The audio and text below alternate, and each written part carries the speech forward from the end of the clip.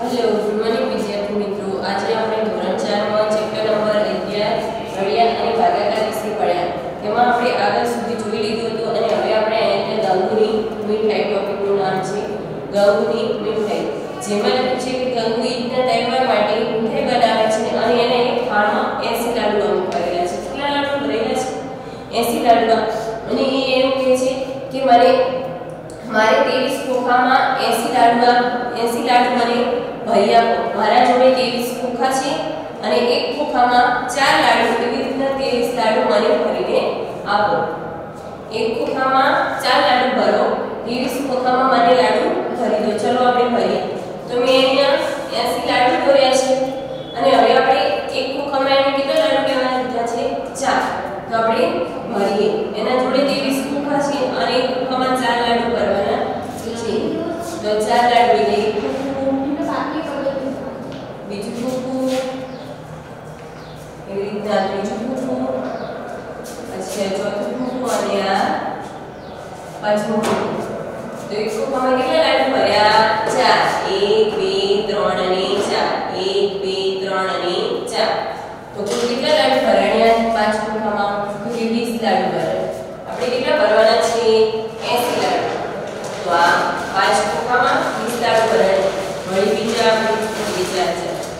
એક ખોખામાં બીજા ખોખામાં ત્રીજા ખોખામાં ચોથા ખોખામાં પણ ચાર લાડુ અને પાંચમા ખોખામાં ચાર લાડુ તો વળી એક ખોખામાં ચાર લાડુ એવી રીતના પાંચ ખોખામાં ચાર ચાર ચાર લાડુ થયા.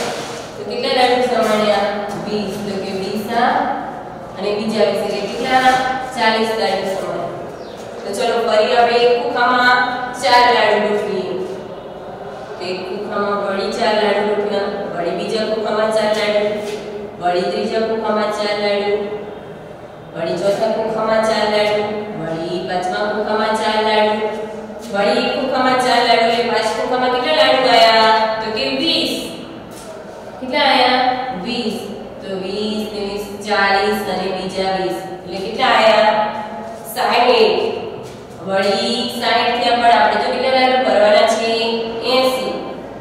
વળી એક ખોખામાં ચાર લાડુ ભર્યા વળી બીજા ખોખામાં ચાર લાડુ ભર્યા વળી ત્રીજા ખોખામાં ચાર લાડુ ભર્યા અને વળી પાંચમા ખોખામાં ચાર લાડુ ભર્યા તો વળી કેટલા થયા 20 તો અહીંયા વળી 20 મેં કેટલા થયા 20 ને 20 40 20 60 ને 20 80 80 લાડુ ભરાઈ ગયા તો એક ખોખામાં કેટલા લાડુ ભર્યા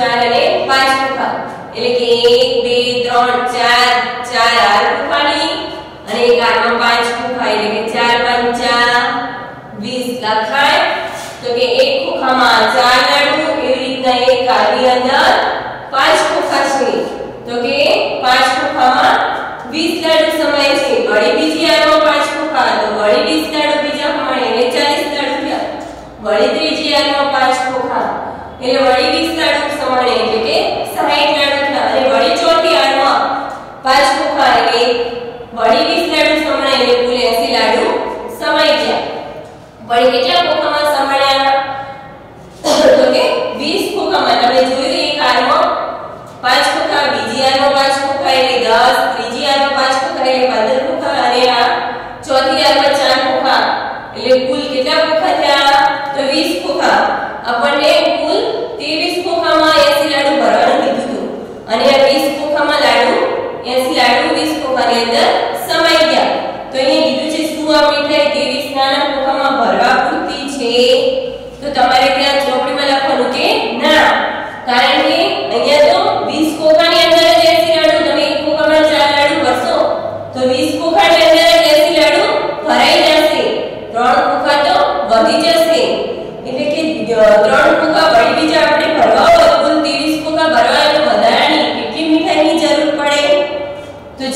આપણે જોઈએ કે એક ખોખામાં કેટલા લાડુ સમાય છે?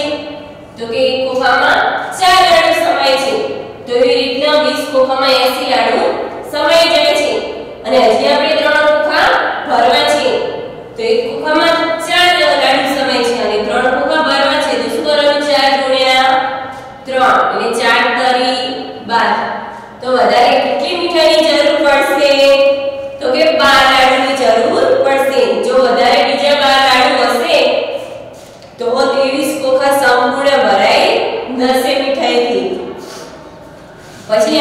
છે કે ગંગુની પાસે મોટું ખોખું છે અને એ ખોખામાં બાર લાડવા ભરે છે. એના જોડે 60 લાડવા છે. જેવી રીતે આમાં તમે એસી લાડવા કીધા હતા, એવી રીતે એના જોડે 60 લાડવા છે અને એક ખોખામાં જે લાડવામાં ચાર લાડવા ભરતો હતો, એવી રીતે તે ખોખામાં બાર લાડવા ભરે છે અને તેના જોડે 60 લાડવા છે તો તેને કેટલા ખોખાની જરૂર પડશે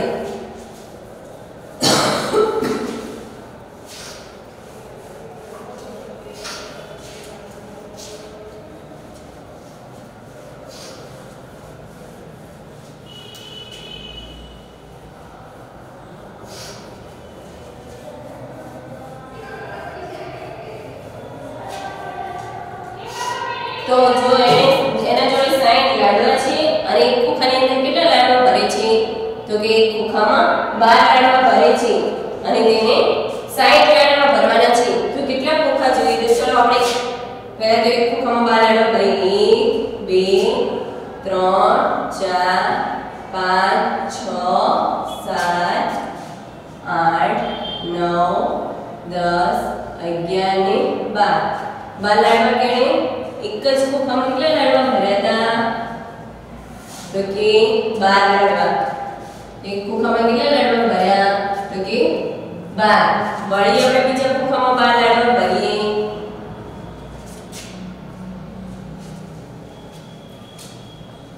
તો કે 1 2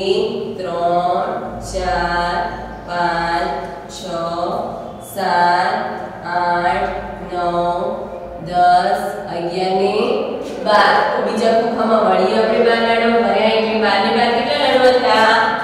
તો કે ચોવીસ કર્યા એક ખોખામાં બાર લડવા હતા. વળી બીજા ખોખામાં બાર લાડવા ભર્યા તો કેટલા લાડવા થયા? ચોવીસ. પણ આપણે કેટલા ભરવાના છે તો કે 60 લડવા ભરવાના છે આપણે. તો હજી વળી ચલો બીજા બાર ભરીએ આપણે.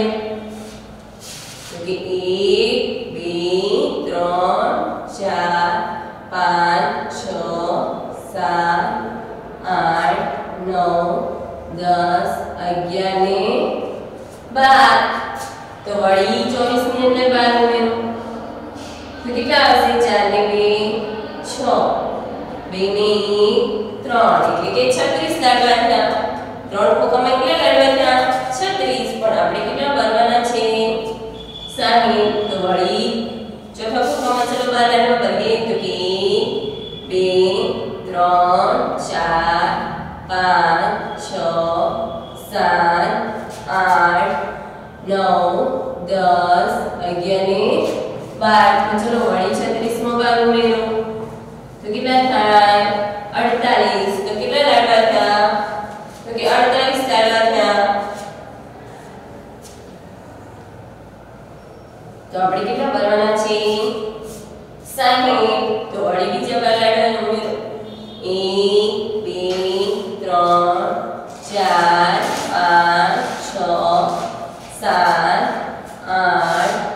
1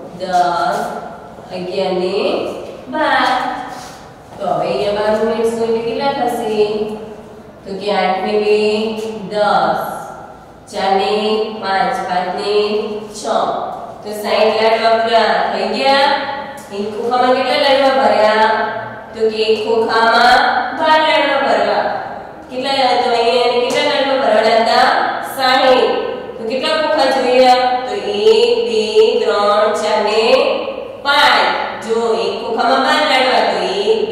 2 3 4 ને પાંચ ખોખામાં 60 લાડવા સમાઈ ગયા તો 60 લાડવા ભરવા કેટલા ખોખા જોઈએ તો કે 60 લાડવા